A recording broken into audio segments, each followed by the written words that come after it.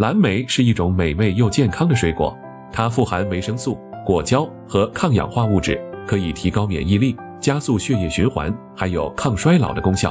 蓝莓原产于北美洲，现在已经在世界各地广泛种植，成为人们喜爱的水果之一。但是你知道吗？蓝莓一年只开一次花，而且只结一次果，这是为什么呢？要回答这个问题，我们首先要了解蓝莓的生长周期。蓝莓属于灌木类植物。它的根系分布较浅，对土壤的酸碱度和有机质含量有较高的要求。一般来说，蓝莓喜欢酸性土壤，pH 值在四至五之间，有机质含量在五十克以上每千克土壤。如果土壤过于碱性或贫瘠，蓝莓就会缺铁或缺肥，影响生长和结果。蓝莓的开花期是在每年的二月份到四月份，在春季，蓝莓的花芽萌动期之后三到四周就到了盛花期。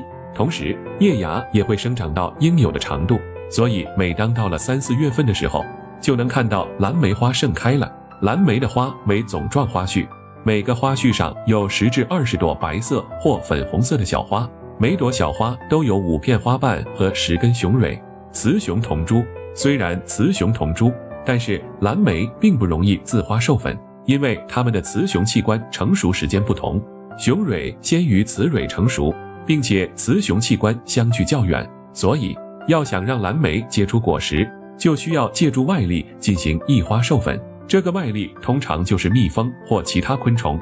如果没有足够的授粉者，或者天气不佳，那么蓝莓就会减产或不结果。授粉成功后，小花就会凋谢，而花托上就会长出一个小小的绿色球体，这就是未成熟的果实。随着时间的推移，这些果实会逐渐变大。变软、变甜、变色，最终在六月份到八月份之间，它们就会成熟并呈现出深紫色或黑色。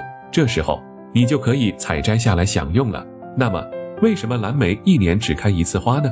这其实和它们的生理特性有关，因为它们是一年生植物，也就是说，它们的花芽是在上一年的秋季形成的，然后在冬季休眠，等到第二年的春季才开花，所以。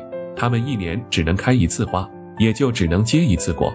如果想要让它们多结果，就需要通过人工控制温度、光照、水分等条件，模拟两个生长季节。但是这样做的成本很高，而且对环境也不友好。所以，我们应该珍惜每一次蓝莓的花期和果期，因为它们是大自然赐予我们的礼物。同时，我们也应该保护蓝莓的生长环境，让它们能够自然的开花结果。不受人为的干扰和破坏，这样我们才能享受到更多更好的蓝莓，也能让蓝莓与我们相伴更久。